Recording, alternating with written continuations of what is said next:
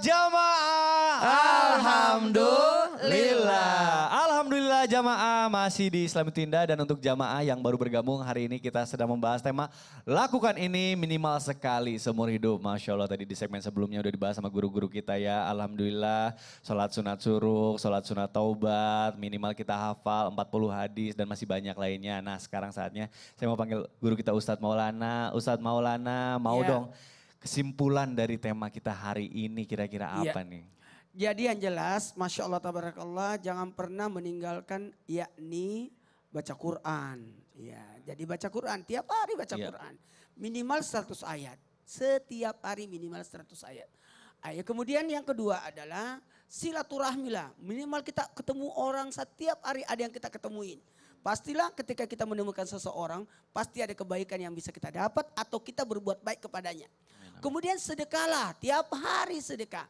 Minimal senyuman, tidak mesti materi yang kita sedekahkan. Senyuman pun termasuk sedekah. Apalagi jangan pernah berhenti dalam berdoa. Tidak ada kehidupan kita tanpa doa, keseharian kegiatan kita tanpa minimal baca basmalah dan mengucapkan alhamdulillah setelahnya. Baik, terima kasih Ustadz Maulana. Selanjutnya Ustadz Zanada, mau dong kesimpulannya dari Ustadz Zanada. Iya, Kak Mikdad, ada dua nikmat yang kadang-kadang orang melupakannya dan mengabaikannya. Iya. Yang pertama sehat dan yang kedua punya waktu yang luang. Jadi kalau sekarang sehat, apalagi punya waktu yang luang, banyak waktu untuk kita beribadah, Iya. jangan lewatkan, jangan eh, tinggalkan kesempatan itu. Iya, apalagi sekarang di bulan Ramadan berlipat ganda pahala. Di 10 terakhir bulan Ramadan kita kejar Lailatul Qadar. Jadi dua nikmat ini harus kita pegang erat-erat ketika sehat dan ketika badan kita juga mampu melakukan berbagai macam ibadah. Insya Allah kita akan menjadi orang yang beruntung. Amin, Apalagi amin. amalan-amalan yang tadi jangan saja kita kerjakan satu kali seumur hidup tapi Iya. niatkan untuk kita bisa konsisten istiqomah agar kelak kita mendapatkan syurganya Allah subhanahu wa ta'ala. Istiqomah. Baik, terima kasih Ustadz Zanada. Selanjutnya Ustadz Syamon. Kesimpulannya dong mau. Yang kita bahas hari ini ada kata minimalnya. Jadi bukan membatasi sekali seumur hidup. Janganlah kita membatasi amal seseorang. Ada yang sholat terawih 8 rakaat, jangan membatasi kalau ada yang mau sampai 20 rakaat. Ada yang sampai 40 rakaat. Bahkan Imam Malik thalathami'ah rakaat. Imam Malik itu sholat terawihnya 300 rakaat. Maka jangan sampai kita membatasi amal-amal seseorang selama tidak ada pelarangan dalam hal amal tersebut. Kalau yang dilarang maka boleh kita sampaikan. Misalnya sholat eh, maghrib, saya karena saya baru tobat saya 6 rakaat deh sholat maghribnya itu nggak boleh. Tapi amalan-amalan yang disampaikan hari ini 40 hadis. Oh kalau ada yang bisa 400 hadis, oh masya Allah. Jadi katakan sholat tasbih sekali seumur hidup. Kalau ada yang bisa tiap malam, subhanallah. Ada yang dikatakan sekali sholat taubat. Kalau bisa setiap hari sholat taubat, masya Allah, tabarakallah. Sedekah Jumat. Kalau ada yang bisa sedekah Kamis, Sabtu, Minggu, Senin, Selasa, Rabu, Kamis, masya Allah silahkan. Maka bukan membatasi amalan. Tema pagi hari ini adalah untuk memotivasi kita dalam rangka fadhailul amal, memperbaiki daripada amal-amal kita, keutamaan-keutamaan amal ini kita tingkatkan sehingga ujung-ujungnya yang kita harapkan dari banyaknya amal yang kita lakukan adalah yang tembus kepada Allah Subhanahu wa taala atau ada amal kita yang diterima oleh Allah Subhanahu wa taala. amin ya. Ya. Bismillahirrahmanirrahim.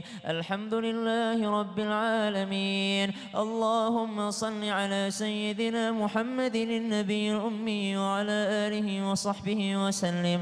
ربنا تقبل منا إنك أنت السميع العليم. وتب علينا إنك أنت التواب الرحيم. اللهم إنا نسألك رضاك والجنة ونعوذ بك من سخطك والنار. اللهم إنك عفو تحب العفو فاعف عنا. اللهم إنك عفو تحب العفو فاعف عنا يا كريم. فاعف عنا يا رحيم. فاعف عنا يا أكرم الأكرمين يا أرحم الراحمين. ربنا آتنا من لدنك رحمة وهيئ لنا من أمرنا رشدا.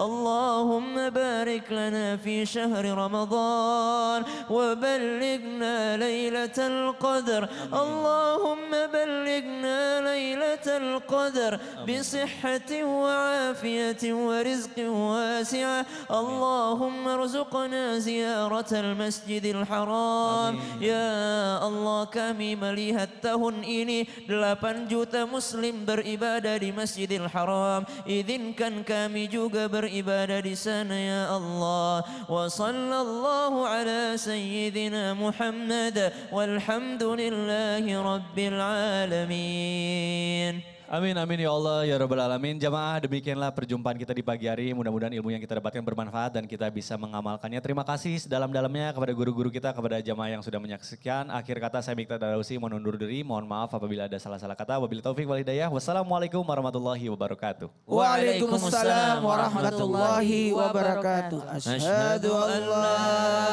ilaha